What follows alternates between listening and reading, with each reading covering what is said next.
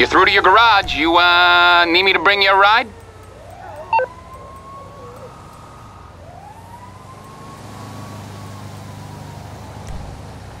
It's coming at you.